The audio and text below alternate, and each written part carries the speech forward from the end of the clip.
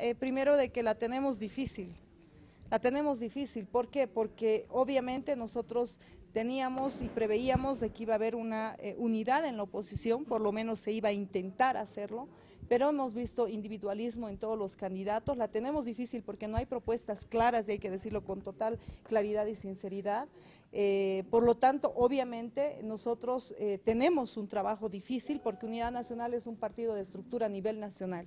Hoy día hemos tomado la decisión de apartarnos del proceso electoral, sin eh, despojando tal vez inclusive aspiraciones personales que muchos de nuestros militantes y dirigentes tenían, pero aquí estamos con la decisión firme de poder marcar la diferencia y no solamente eh, indicar y, tal vez por, por un momento de rabia, de bronca, de rechazo a este proceso, tomar la decisión de no ir a votar, votar en blanco o votar nulo. Tenemos que tomar la decisión y apoyar un candidato porque es la única forma de poder hacer respetar la decisión del 21 de febrero para Alcaldesa, y dar, dar, esta alianza significaría brindar eh, la alcaldía de La Paz a quien fuera vicepresidente del alto, a quien fuera vicepresidente de Gonzalo Sánchez de los Hay cotas de poder, eh, hay condicionamientos.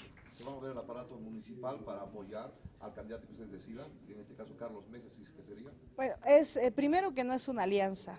El anuncio que nosotros vamos a hacer es la decisión de los militantes de Unidad Nacional por qué candidato vamos a votar. Eso no implica una alianza, no implica condicionamiento.